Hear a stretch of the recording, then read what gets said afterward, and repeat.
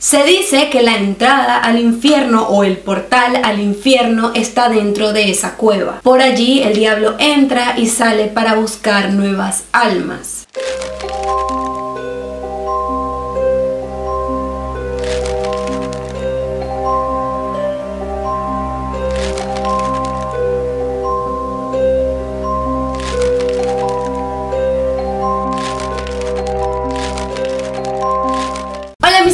¿Cómo están el día de hoy? Espero que hoy se encuentren súper, pero súper, pero súper bien.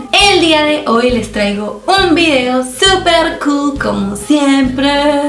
Y es que como vieron en el título les voy a hablar sobre cuatro leyendas mexicanas. Déjenme saber aquí abajito en los comentarios si quieren que les hable sobre más leyendas mexicanas y que haga más partes de este video. Y bueno mis amores, ahora sin más nada que decirles, vamos a comenzar con este video.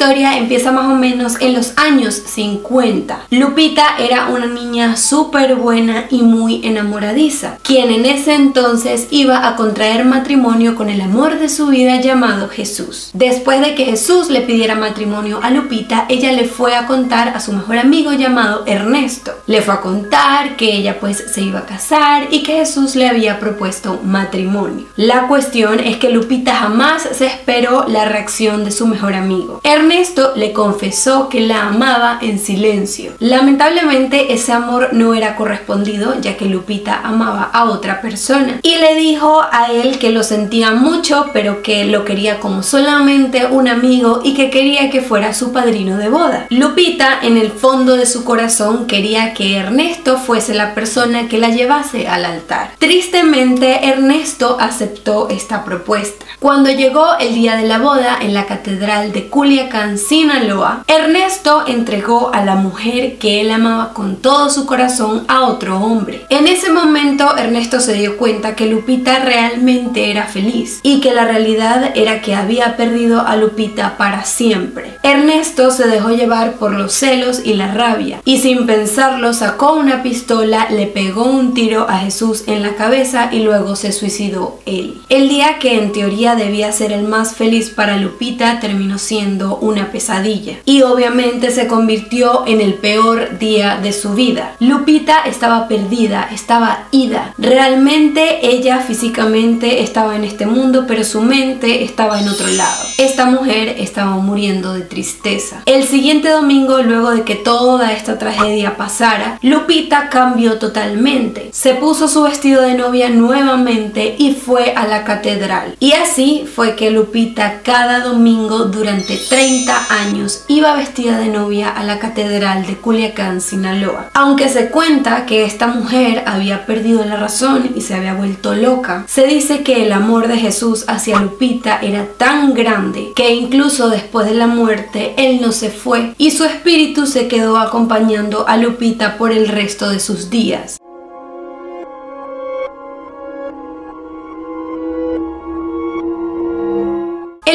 Psiquiátrico de San Rafael en la Ciudad de México fue fundado más o menos sobre los años 40 por los religiosos de San Juan de Dios. El objetivo de ellos era atender personas con problemas mentales. Lamentablemente los métodos que estas personas usaban para saber si una persona estaba enferma o no no eran para nada correctos, ya que bastaba con que algún familiar dijera que esa persona estaba loca y sin compasión y sin el consentimiento del paciente lo encerraban. Les hacían terapia de electroshock, pero todo esto era bajo el poder de Dios. Se decía que en ese manicomio se podían arreglar personas rotas. A esto se referían con que las personas estaban mal de la cabeza y pensaban pues que estaban rotas como si fueran un muñeco. Por esto mismo los familiares de estas personas no lo pensaban dos veces y los mandaban a ese manicomio. Lo terrible de este asunto es que quizás muchas de esas personas que fueron internadas internadas en ese manicomio no tenían problemas mentales, sino que tenían otro tipo de problema. Pero como a esas personas que trabajaban en ese hospital no le prestaban mucha atención y pues no les importaba, atendían cualquier tipo de paciente. Solamente, como ya les dije, les bastaba con que algún familiar dijera esta persona está loca y los encerraban sin ningún tipo de análisis, sin ningún tipo de examen, sin ningún tipo de consentimiento, sin nada. Uno de los casos más sonados en este hospital fue el de Mario, un joven que al cumplir los 18 años se quería independizar y se quería ir de su casa. Lamentablemente la madre de este chico no estaba de acuerdo con él y decidió simplemente llamar al manicomio y explicarles la situación. Así que una noche mientras este joven dormía, cinco enfermeros entraron a la fuerza al cuarto de este niño, lo sedaron y se lo llevaron a ese manicomio. Obviamente al despertar Mario no sabía dónde estaba. Durante 18 días estuvo sufriendo ya que estuvo bajo tratos inhumanos. Le hicieron tantas sesiones de electroshock que este niño ya no sabía cómo se llamaba, ya no sabía quién era y todas sus emociones se habían apagado. Mario cuenta que si él o los demás pacientes no cooperaban y no ponían de su parte, los amenazaban con que los iban a encerrar de por vida en el manicomio o que les iban a practicar una lobotomía. Se cuenta que otro de los métodos que practicaban estos religiosos en este manicomio eran los exorcismos, algo que en realidad es poco ortodoxo, pero ellos pensaban que muchos de sus pacientes no tenían ningún tipo de problema mental, sino que eran poseídos por demonios. Se cuenta mucho que en ese hospital sucedían cosas sobrenaturales, que había un espíritu que entraba a las habitaciones de los enfermos y se sentaba junto a ellos para atormentarlos. Una de las más aterradoras historias que sucedieron en ese hospital fue cuando una madre y su hijo fueron a visitar a un familiar, cuando de pronto otro paciente degolló a este niño. Luego agarró el cadáver ensangrentado y lo llevó hasta la capilla. En 2009 fue cerrada la clínica y demolida para luego construir un centro comercial. Antes de demoler este manicomio hicieron una película. Esta se tituló Archivo 253. Esta película fue rodada en este manicomio abandonado y los actores aseguraban que en ese sitio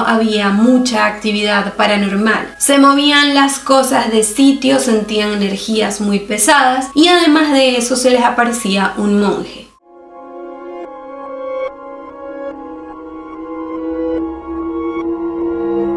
Se dice que allí han ocurrido tantas muertes y desapariciones que por eso mismo ahora en la actualidad no se puede pasar, ya que las autoridades pusieron una reja roja con candado para que pues obviamente nadie pasara. Una de las peores historias y más macabras empieza con un derrumbe que dejó al descubierto la cueva. Unos exploradores decidieron entrar a ver qué era lo que había allí, pero lamentablemente la curiosidad mató al gato y estos más nunca volvieron a salir de esa cueva. En busca de estos exploradores mandaron a un grupo de rescatistas a las profundidades de esta cueva. Como medida de seguridad, estos rescatistas iban atados a una cuerda y afuera de la cueva habían personas atentas a todo lo que estaba pasando por si acaso algo sucedía y pues ellos estaban ahí de testigos. Si los rescatistas jalaban la cuerda, eso significaba pues que tenían que llevarlos de vuelta, o sea que tenían que sacarlos de la cueva. Sin embargo, pasaron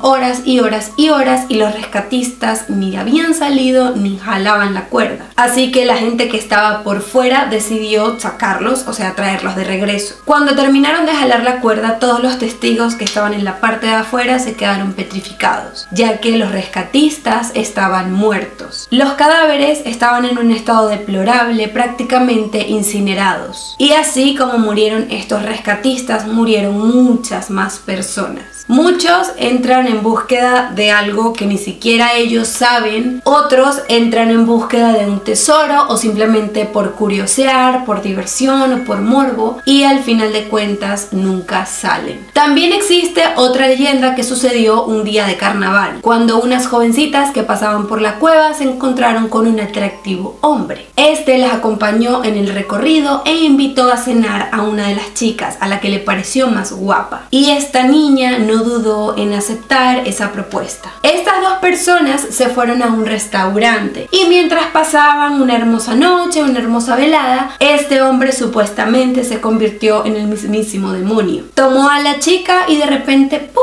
desaparecieron. A esta muchacha más nunca se le volvió a ver. Sin embargo, a este hombre, que al final de cuentas era el demonio, lo han visto muchas veces. Se dice que la entrada al infierno o el portal al infierno está dentro de esa cueva. Por allí el diablo entra y sale para buscar nuevas almas. Se dice que si visitas esta cueva de noche, la iluminación dentro de la cueva es roja.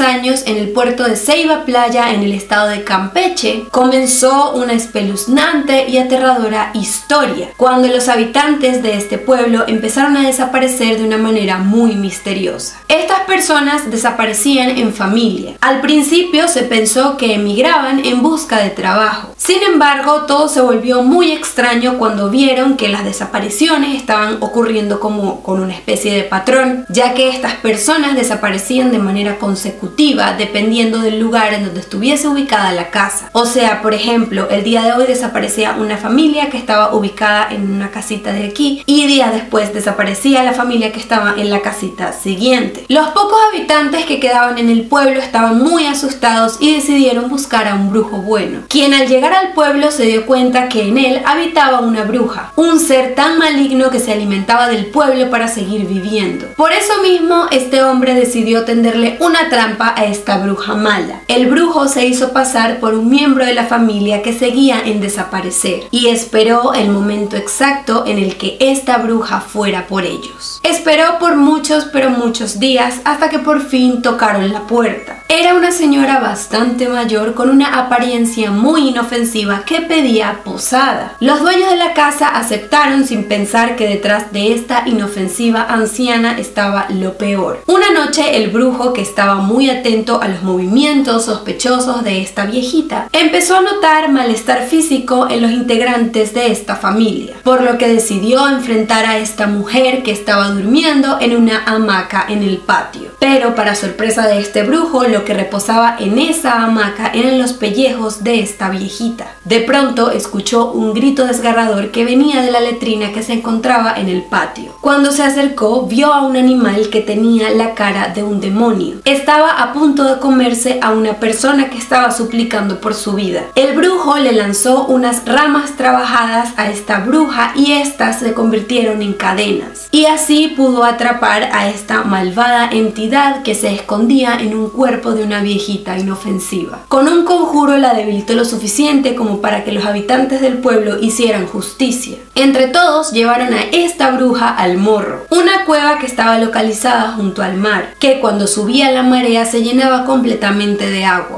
Así la bruja moriría ahogada, pero antes ella prometió volver. La leyenda cuenta que el conjuro solamente duraba 300 años, los cuales ya están próximos a cumplirse, por lo que se rumora que esta bruja está por despertarse. A pesar de que ese lugar es un buen punto para pescar, los pescadores no deben acercarse a la cueva del morro porque ocurren muchos accidentes. Se cuenta que todas las personas que han tenido accidentes allí son arrastrados hacia la cueva y de allí más nunca vuelven a salir. La gente cuenta que por las noches se escucha un lamento que sale de la cueva. Todo el mundo piensa que es esta bruja que como aún sigue encerrada, está esperando ser liberada para cobrar venganza. Y bueno mis amores, espero que les haya gustado muchísimo este video. He disfrutado un montón hacer este video porque la verdad estas leyendas están demasiado buenas. Déjenme saber aquí abajito en los comentarios qué tal les pareció este video y si quieren que haga más partes de estas leyendas. Hay un montón, he conseguido muchísimas leyendas, así que pues si les gustan déjenmelo saber aquí abajito en los comentarios y pues obviamente yo voy a hacer más partes de leyendas mexicanas. No olviden darle like a este video suscribirse aquí abajo en el botón rojo y activar la campanita de notificaciones para que YouTube te notifique a ti cuando yo suba un nuevo video y comentarme cositas hermosas como ustedes siempre lo hacen. Tampoco olviden que les dejé mis redes sociales durante todo este video para que vayan y me den amor durante todo, por toda, por toda, por toda, por toda, por toda, por toda, por toda la semana. También les voy a dejar aquí en pantalla el correo electrónico al que me pueden escribir y enviarme sus experiencias paranormales. Y yo les estaré contando los días lunes en la sección de experiencias paranormales de mis suscriptores. Y bueno, mis amores, les mando muchísimos besos intergalácticos y de caramelo. Y ya saben que nos vemos en un próximo video. Bye.